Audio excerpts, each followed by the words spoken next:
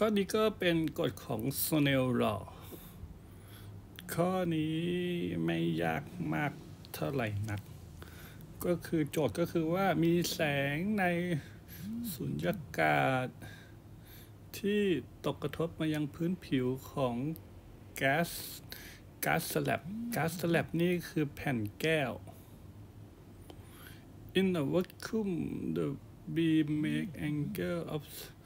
ก็คือว่ามันทำมุม 32 องศากับ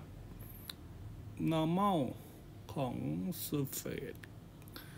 while the glass is make angle to the normal ก็คือว่าส่วนที่มุมที่ทำในแก้วนั้นมันทำมุม 21 องศา ก็ให้หา index of refraction ของแก้ว ข้อนี้ถ้าเรา จำกฎของ Snell law เราก็จะทำได้เลยก็จาก Snell law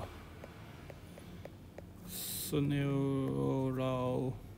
มันก็คือ sin เซต้าหนึ่ง n หนึ่งเท่ากับ sin เซต้าสอง n สองเซต้าคือมุม ซึ่งเขาให้มาทั้งสองอันแล้ว แล้วเขาให้สมมติว่า n สองเป็น n glass n หนึ่งในสุญญากาศมันก็ต้องเป็นหนึ่งนั้น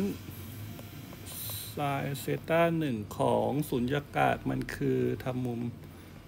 สามมันก็คือไซสามสิบสององศา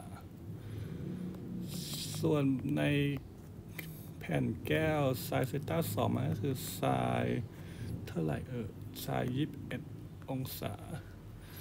ส่วน n หนึ่ง n หนึ่งก็คือในสุญญากาศนั้นดัชนีการหักเหในสุญญากาศนั้นมันคือหนึ่งเป๊ะๆเลย ถ้าในอากาศมันจะหนึ่งจุดศูนย์ศูนย์ศูนย์นิดหนึ่ง มีค่าเกินหนึ่งไปนิดหนึ่งแต่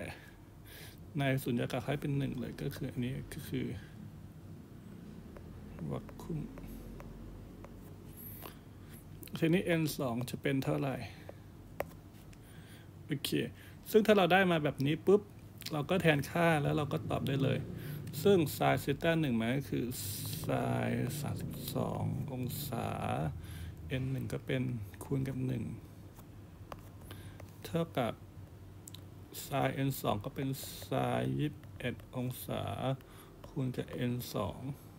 ฉะนั้น n สองมันก็คือ sin สามสิบสององศา ส่วนมันคูณหนึ่งอยู่ก็เป็นหนึ่งหารด้วย sin ยี่สิบเอ็ดองศา ฉะนั้นมันก็คือถ้ากดที่เลขแล้วมันได้ประมาณหนึ่งจุดสี่เจ็ด